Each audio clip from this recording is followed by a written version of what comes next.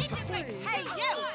Can I ask you a personal question? No, you can't. Is your daughter mulatto? What? You! Please, somebody, out of my Jason, you're back!